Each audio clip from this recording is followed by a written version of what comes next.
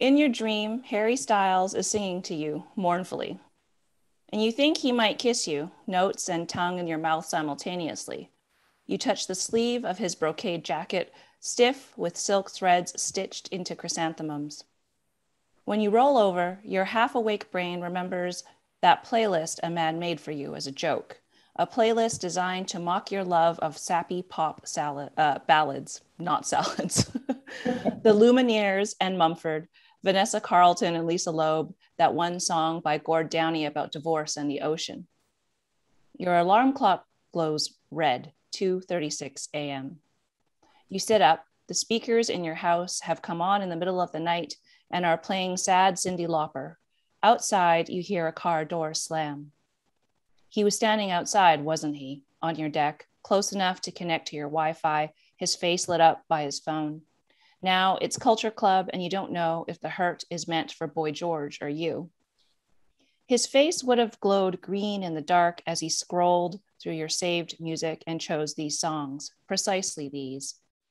The inside of your little house is intimate knowledge. Here, he brought you coffee in the morning. He installed a dimmer for your dining room light that afterwards sparked and singed the drywall. When he pushed you face down on the bed and you crawled away crying, he ignored your texts for 18 hours and you thought it was fine. You could be done. But then he came back and you made him spaghetti and meatballs. His head hung low and you thought, okay, I guess. If he thinks about it, he will know where you are sitting right now, back against the headboard, eyes on the curtained window, listening to the wind, the traffic on Hastings, a falling dumpster lid. You listen to everything, waiting for him to pound the door down, to hiss that you're a coward, to spit the words he wrote in letter after letter, to tie you to the bed with the chain he keeps in his nightstand, or the sound of his car driving into the back gate over and over again. You wait, your son coughs in his sleep, and that's your heart jumping. Fuck that thing. Fuck your unreliable heart. An hour later, you creep to the window and pull the curtain back three inches.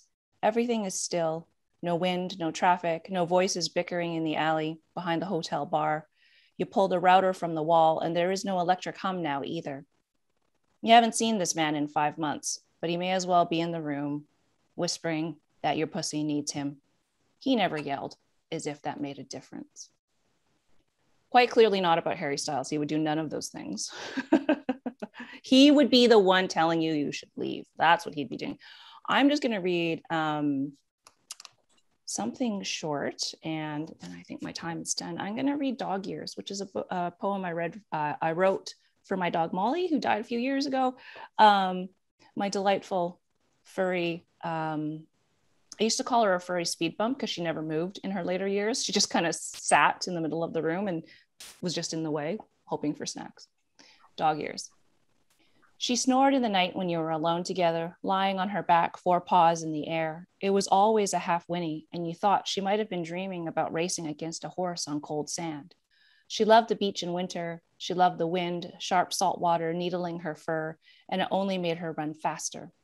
She loved the kelp bulbs that popped in her mouth all that sand on the pads of her feet, perfect for racing dream horses or pretend day horses, or even the seagulls that dip so low.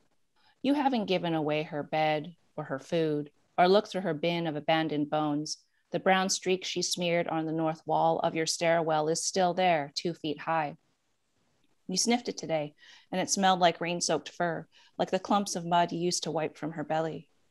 But there was no judging her speed. She ran as fast as she could, or she didn't run at all. She was fast or she was still, and nothing in between. Soon didn't exist. It was and is only now. Wife, mother, mistress. I ascended not through grace, but via debt. A trick of red knew its way all through me. How to cure him of the colic, the bedwet, the conquest, or the lack of consent. I haven't got it in my purse, in my nerve, or in a hospice of milk a lactic dew stripping the patina from my femurs. Waitress, nurse, whore. Had I another beginning, I'd have taken love down from its shelf and inserted it. The century that flattered me begged also in roses in spring. I am but a sinner ever retreating. The limits of my language are the limits of my world, and the word was final beyond a reasonable doubt. maid, maiden, chrome. Breaking down before the reliquary age, I have this sense I am between genders in the west end of this dying city. To be a ram bucking in the stars, did I miscarry the accident? On my own release and flaunting recognizance, I palpated the grief, made a mask of all the features that are receding. The bones my dual nature disclosed amid a lawn of cosmos. Birth, marriage, grave. There is an amber colored skull in the painting called Vanitas that is my son. My son cannot speak because I have no son. I have a brother on the spectrum. He drives a rig hauling metals. He is my brother, but we do not share a father. It is impolite to speak of such things. My headstone could read that I was a creature unafraid to breathe these titles into speech. Address, occupation, age. Pina, my belief. Love doesn't work here anymore. I lifted my face into distraction. I lifted my hair at its roots, my breasts with wires. When I dreamt the Indian agent, he was the accountant of persuasion. I let down my limbs and replicated. I do not know any other door through which to enter. Castigate my own body in service to the tyranny of will, which is no altar. There is no takeaway in the forest. Who will be invited to eat and devise a plot of land? Make this mental disappear the world is independent of my will. I've said this. Nothing in me can ever truly pay the lease. She smells the air and breathes. Perfume from the neighbors' baskets of fresh peaches infiltrates, sorry, infiltrates her patio. Several small dogs pass in the lane, their leashes jangling, their rib cages flitting past fence slats. Young customers pool around the doors to the brewery, sharing a joint. She lifts her face toward your lilting white gray arms, dear Birch, foraging for emotional logic. She senses her shored up accusatory stance toward R, toward her stated plans to have whatever sexual activity she wishes. Her hands fidget as if the blood is moving improperly. She knows she is treating R as though she's disloyal and unethical, but R has never said anything to deny what she wants. She just entered this bearing of feeling attachment and then feeling deferred, of blaming R for her pain. Granted, R then began playing the part, seeming callous and absent. All that sounds so easy to defuse, but it isn't. There's a long, deep she would even say pathological bearing in her toward recreating this scene of betrayal that places her and the lover in a heightened drama of deciding to continue or end the attachment. It's a hook, a V shape in an upper branch, a place for birds and squirrels to make noise, to vetch. Awake to streetcar and subway rail yard squeals that continue with cling clangs and oral squalor for long moments on end, it's a whistling as much as it is a dragging, an against grade hoisting, and an intake of wheezed breath that doesn't stop, like a wind that begins to suck the object world into its vortex. And there, the cicadas, there, the exhaust fan like a box of stomach churn. And then, late in the game, there, the faint voices next door of the parents and babies, and the miraculously articulate toddler in morning discretion, all is set in place, all is buzzing in every direction. She is impatient, though. She needs motion and to displace her mind with the upswing of going somewhere else, to be on the move, to slide away from the hard dock of these feelings for R, these recognitions of how what they shared is ending or is ended. She is disappointed. Now, too, she wonders about how much the third anniversary of her mother's death has to do with today's process. There was the interim procedure of her cremation, which she could not bring herself to attend, and which meant her sibling went as the only sentry. How could she have let family be alone in that? She was terrified of the fire, the image world of witnessing just a crate go into a mouth of flame. Maybe that's what the rail yard soundscape is such an alchemy of watching the box that holds your mother's body be fed into fire. Anyway, she couldn't go, so her sibling went alone and reported back to her after that it had really happened and was done. Against that, losing R begins to feel inconsequential. Their entire acquaintance unfolded within just one year. She hadn't known her before. She was one of the persons to enter her life after her mother died. Even this seems to stun her like a hot jolt of venom from a garden's bug. A red welt begins, an urge to tear at the spot of skin suddenly visible against the field of the whole body. New people continue to arrive into a life after the most significant bodies, the ones that made life possible and accompanied, have moved on. She wonders if she has yet said the thing to any of her three children that will work as a healing talisman after she is dead three years and they feel themselves to be broken at the edge of anyone new ever arriving in their future.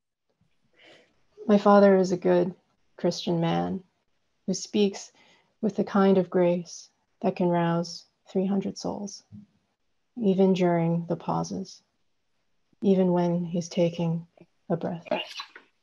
Cantonese slips on eloquence like a cheongsam dress as it leaves his tongue. Have you ever seen a congregation inhale as one, straighten its shoulders like an orchestra brought to attention? My father has a voice like a train rushing headlong over the tracks near our church. My father's voice was made for the gavel. My father's voice gathers clouds. Be ye angry and sin not.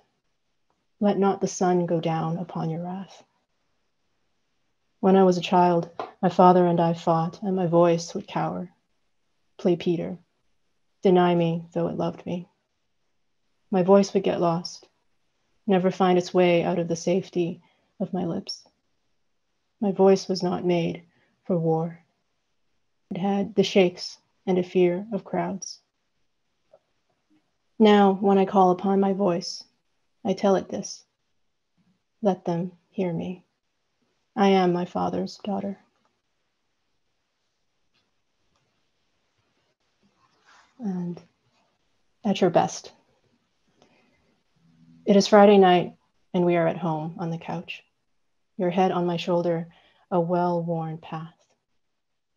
This is not the first time you have slowed my hours, and yet how the seconds gasp to be doing nothing at all, but feeling the universe wax content in your breath. It is Saturday night, and we've left our other lovers in a lullaby moon that croons beneath a dusty frame like a memory of the sun that offers no warmth. There is only the green of your eyes ringed with gold, as clear as a summer stream, and I feel as if I will never thirst again. It is Sunday morning, and the spell remains unbroken. I trace you in what's left of stardust. Another leaf has burst forth from the English ivy. I can't remember when I gave the sun back his hours, but now I am at peace with the world and its unloveliness. Yes, I think I would be happy doing this every night of my life. And on the pop kind of train from Jenn's earlier reading, uh, this one is called The Perfect Groupie. For a time, I went to bed dreaming of boys. My first boy band was a teenage dream of ripped jeans, frosted tips, and too much hairspray pouting from my bedroom walls. I even had their sold out show on VHS Yes, this was how I would fast forward to my happily ever after. My first boy band was actually a man band. For a time, I went to bed dreaming of five man boys named after Orlando, but not from Orlando. I still remember their favorite books, sports, pizza toppings. I studied Angelfire fan sites the way we study what we want to become. My mother was so excited for me to act like a girl. For a time, I went to bed dreaming of boys, their hair, their clothes, their songs, their dances. They were the perfect blueprint for a little girl who longed to be a teenage heartthrob, the kind of girl a girl could love. The tannins have browned your double skin, your cowhide robe, your velvet heart, your handle, your pommel, cruel knot at the bottom, good for long range whipping, your two strands graceful, a denial, a DNA of violence, your slender arms foldable into switchblade elbows, fetchable from the bottom drawer upstairs, beside the thing stolen from me, for taking the thing that wasn't mine.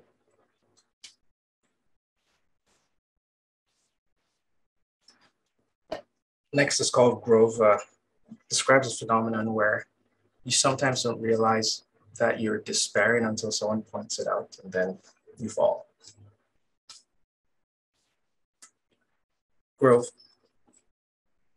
In black light, the forest is an eye white fishbone grave, where bleached and all pupil in its dark, and the curtains of the world do not hush the dial tone traffic.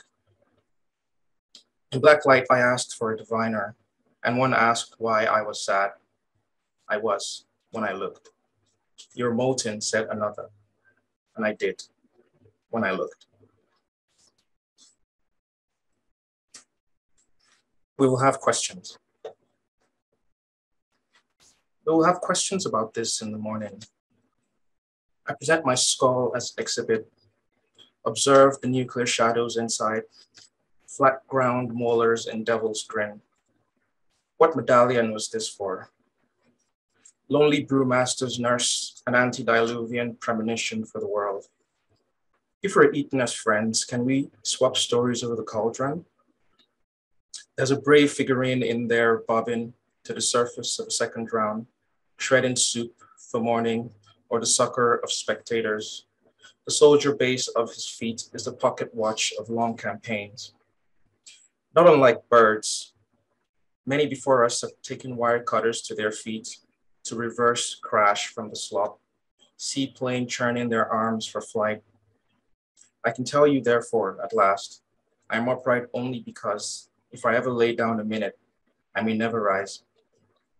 Quitters, who can neither shut their eyes tight nor open them wide, know to tamp the fission of unraveling thought till the end. We'll come to the final points of escape, but tell me again why you made this war.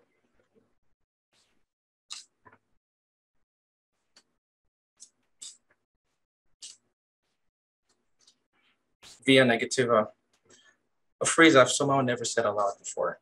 So I don't even know if that's how it's pronounced. Um, the 15 year abacus, a rosary of flint faces and an inverted road. Jonah, personal patron, pray for me. You brother of cowards and fugitives, well digger who struck a bedrock of scorpions every time. I too have encountered a rising tide of what could be water if it wasn't paralyzing me from the feet up. It's that venom for the black market the good stuff I move in lucrative spreadsheets. I suspect I have no idea what I'm doing, and these detours may kill me. But if I cross off every wrong road, my tally may pave a final one for me. And last is called Continental Want. Ayo is our two-lane Mancala, remove seeds, count seeds, plant, capture children of a Black Atlantic. We are the boarding pass pre-break, ambitious, amphibious on either side, manacled to exile, the random rulership of chance and the tartan memory of chain link fences, our office coffee pot black with offshore labor in the morning.